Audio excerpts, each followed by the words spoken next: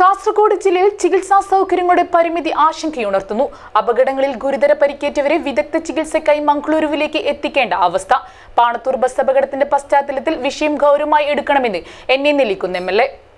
This news brought to you by Thamam furniture world Bandiyur Uppala Thamam the ultimate name in the world of furniture കഴിഞ്ഞ ദിവസം പാണത്തൂരിലുണ്ടായ വാഹനാപകടത്തിൽ ഏഴുപേർ മരണപ്പെടുകയും അറുപത്തഞ്ചോളം പേർക്ക് പരിക്കേൽക്കുകയും ചെയ്ത സംഭവം ജില്ലയിലെ ആരോഗ്യ മേഖലയിലെ ഞെട്ടിക്കുന്ന പരിമിതികളാണ് തുറന്നുകാട്ടുന്നത്.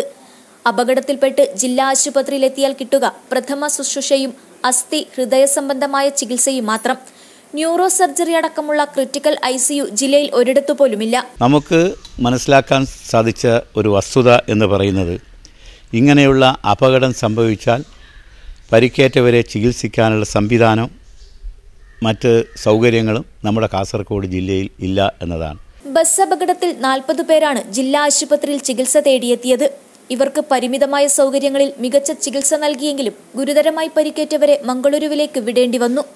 പരിക്ക് പറ്റിയ ആളുകൾ ഇവിടെ ചികിത്സ ലഭ്യമാക്കാൻ പറ്റാത്ത സ്ഥിതി വന്നപ്പോൾ മംഗലാപുരത്തേക്ക് കൊണ്ടുപോകേണ്ടി വന്നു എന്ന് പറയുമ്പോൾ കാസർഗോഡ് ജില്ല ഈ കാര്യത്തിൽ ഇപ്പോഴും എത്രയോ കൊല്ലങ്ങൾ എത്രയോ നൂറ്റാണ്ടുകൾ പിറകോട്ടാണ് എന്ന് പറയാൻ പറഞ്ഞാൽ അതിൽ അതിശയോക്തിയില്ല. അപ്പോൾ ആരോഗ്യ മേഖലയിൽ നമ്മൾ ഇന്നും സ്വയം പര്യാപ്തത നേടിയിട്ടില്ല. ന്യൂറോ സർജൻ ഇല്ലാത്തതും ട്രോമ കെയർ അടക്കമുള്ള സംവിധാനമില്ലാത്തതും കാരണം അപകടത്തിൽപ്പെടുന്നവരെ മംഗളൂരു പരിയാരം എന്നിവിടങ്ങളിലേക്ക് കൊണ്ടുപോകുക മാത്രമാണ് പോംവഴി. ജില്ലയിൽ അടിയന്തിരമായി ന്യൂറോ സർജനെ നിയമിക്കണമെന്നാവശ്യപ്പെട്ട് എൻഡോസൾഫാൻ ദുരിതബാധിതർ ഉൾപ്പെടെ നിരവധി സംഘടനകളാണ് പ്രക്ഷോഭങ്ങളുമായി രംഗത്തെത്തിയിരുന്നത്. എന്നാൽ ഇതുവരെ നടപടിയൊന്നും ഉണ്ടായിട്ടില്ല. അപകടത്തിൽപ്പെട്ടവരെ ആശുപത്രിയിലെത്തിക്കാൻ നാൽപ്പത്തഞ്ച് കിലോമീറ്റർ ദൂരമാണ് പിന്നിടേണ്ടി വന്നത്.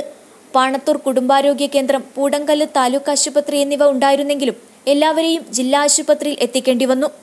പൂടങ്കല്ല് താലൂക്ക് ആശുപത്രിയിൽ പ്രഥമ ശുശ്രൂഷ നൽകിയ ശേഷമാണ് ജില്ലാ ആശുപത്രിയിൽ എത്തിച്ചത്.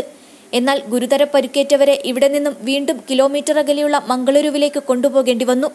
ഈ ദൂരവും സമയവും പലപ്പോഴും അപഹരിക്കുന്നത് വിലപ്പെട്ട ജീവനുകളാണ്. പ്രഖ്യാപനങ്ങൾ പോരാ.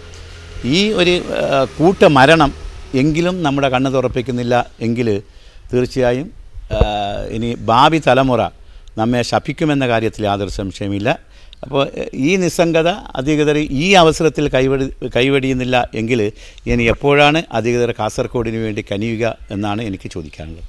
News bureau Kasaragod.